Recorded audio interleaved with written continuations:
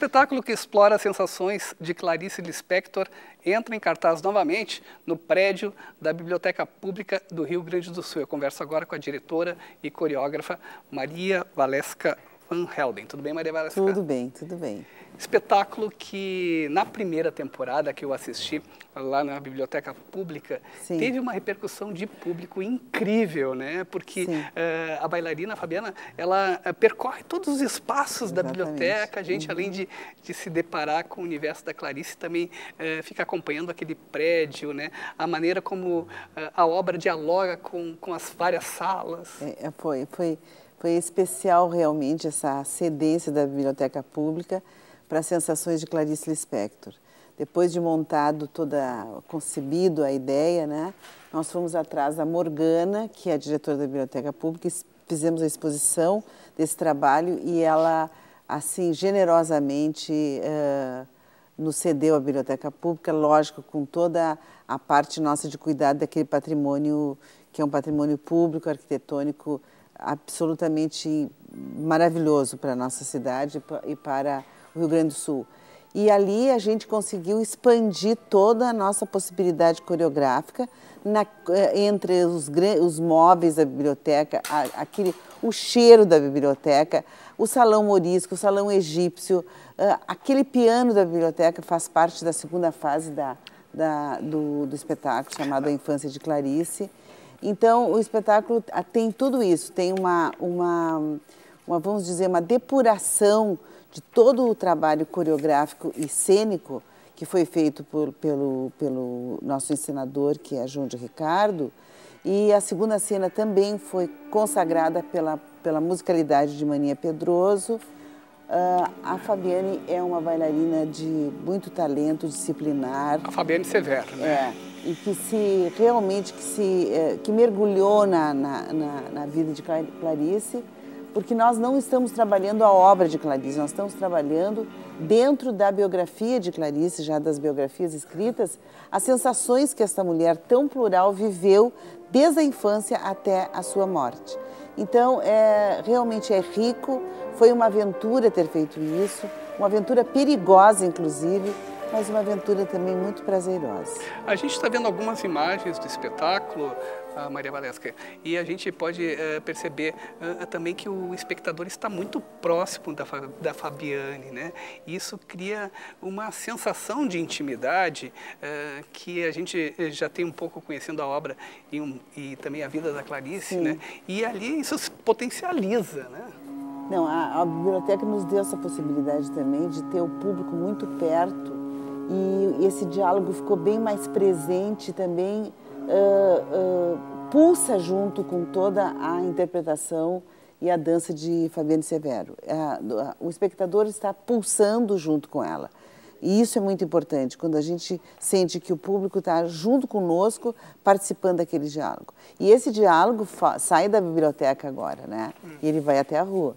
Ah, é Tem uma, uma novidadezinha. Que legal. É. Ele sai da biblioteca e vai até a rua. Então, a, a respiração de Clarice Lispector, ela sai para a rua, atravessa a rua e aí eu não posso contar.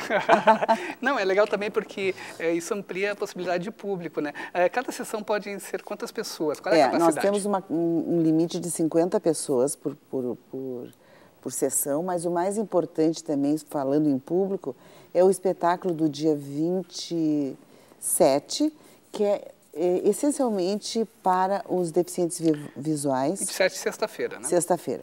Com uma audiodescrição que já foi comprovada e o resultado, a resposta desse, desse público foi absolutamente feliz para nós, como, como, como eu como, uh, concebendo o espetáculo, com o diretor cênico e pra, pela própria Fabiane, assim, eles tiveram uma resposta que foi assim, é, foi um olhar completamente diferente, né? Vamos dizer assim, um olhar onde o, a, a, a, parte de audição e a sensação e essa mesma respiração foi o canal de, do diálogo, né? Quer dizer, faltando o visual, mas sem todo esse esse impulso, essa energia que os deficientes visuais uh, se apropriaram dessa obra e nos trouxeram uma resposta muito interessante. É uma curta temporada, então, agora do dia 25 até o dia 29, né, até domingo, uh, lá na Biblioteca Pública, uh, sempre a partir das 8 horas da noite, com entrada franca. Né? Isso porque vocês ganharam, também fazem parte daquele edital, né?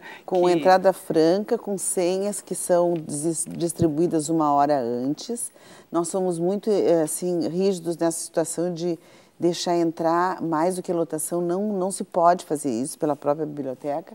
E isso é, é patrocinado, esse, toda essa temporada é patrocinado pelo Ministério da Cultura para, naquele projeto que é, gostaria de mostrar as coisas que artisticamente são uh, relevantes dentro da, das cidades que são sede da, da, do Mundial. Então, nós ganhamos e estamos de malas prontas para ir para Recife, porque ganhamos a Caixa, Caixa Cultural em Recife. Aí vocês vão levar este espetáculo? Nós vamos levar esse espetáculo.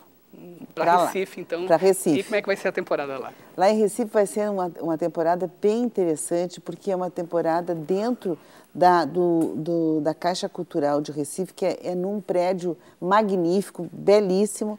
E Clarice, agora, Sensações de Clarice Lispector vão para outro outro espaço, né? Quer dizer, na realidade também existe aí também uma nova criação, né? Porque esse diálogo com o espaço começa uh, provavelmente a ser diferente, né? Na, no prédio da Caixa é. Federal.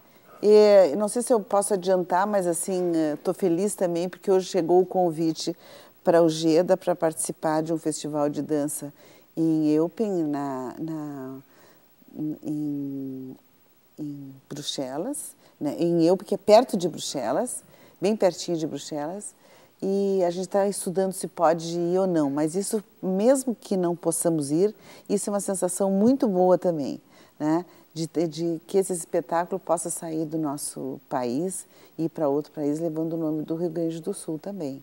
E o bacana também é que Clarice, é conhecida não só nacionalmente quanto internacionalmente, a sua obra, né?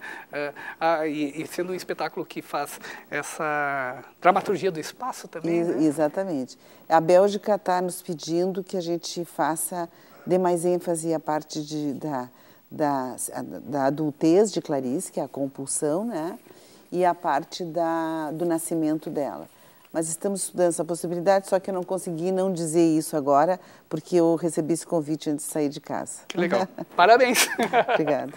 Uh, lembrando então que o espetáculo Não Me Toque, Estou Cheia de Lágrimas, Sensações de Clarice Lispector, pode ser visto desta quarta-feira até domingo, a partir das 8 horas da noite, lá na Biblioteca Pública do Rio Grande do Sul, na rua Riachuelo, 1190, com distribuição de senhas a partir de que horas? A partir das 7 horas da noite.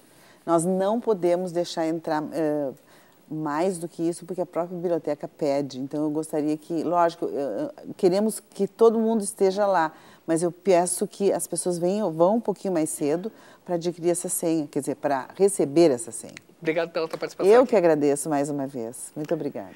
Bem, nós encerramos o programa de hoje com Paralamas do Sucesso. A banda faz show amanhã no Pepsi On Stage, ao lado do grupo J Quest. Tchau e até a próxima edição.